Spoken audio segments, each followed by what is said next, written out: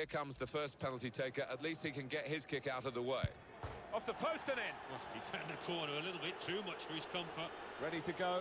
The next penalty taker. Good work from the keeper. All you need to do is put it in the net in the shootout, and he's done it. So next up to take the penalty. Oh, he missed. Nobody likes to see a player miss under those circumstances. Good stop by the goalkeeper. Up he comes for the penalty. Keeper's done very well here. So the spotlight turns to this player.